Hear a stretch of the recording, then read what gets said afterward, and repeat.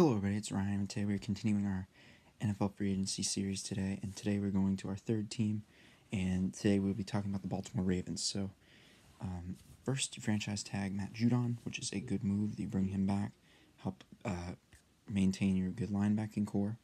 And you trade for Calais Campbell, a huge trade for this team, help the D line. And Calais Campbell, just a really good player, and all you had to do was give up a fifth round pick to get him you sign Michael Brockers as well to add to that defensive line, and you bring back Jihad Ward and Matt Skura. Now, you do lose Hayden Hurst in that trade, but you do get a pick out of it. So, I mean, you win some, you lose some.